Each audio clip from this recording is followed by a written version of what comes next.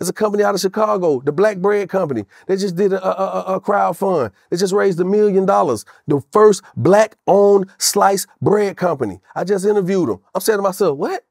Don't nobody else got, make no bread? He said, well, think about it. Who you know make bread? I was like,